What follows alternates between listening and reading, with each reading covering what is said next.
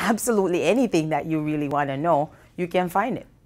I teach Algebra 1 at Maria High School. I introduced Wolfram Alpha to my students and we started off with something like biology, just typing in the word cells. And so they typed it in and it came up with pictures and all kinds of stuff and they were like, oh my God, what else can I do with this? So I was like, okay, maybe you could type in one of your homework problems. So they typed in one of their homework problems and they're like, oh my God, here's the answer. Oh, this is so cool and here are the steps. So they were really excited. So then they started typing in other things. Some of them are taking a class on entrepreneurship.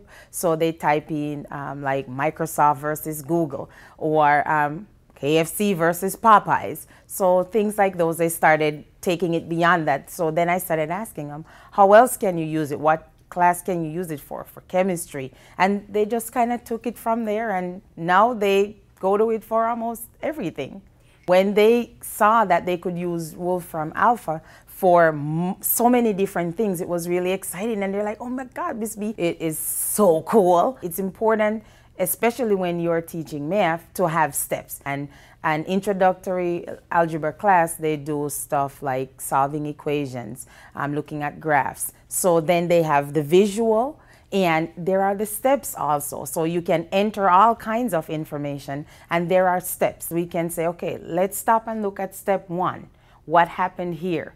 Or if they miss a step, we can go back and say, hmm, why did we get this? Or how did we end up with this? So it creates that atmosphere for more conversation, also more comprehension in terms of being able to go back and look and make inferences, draw conclusions. Wolfram Alpha is it just has tons of information. It's applicable. You can use it in so many different situations.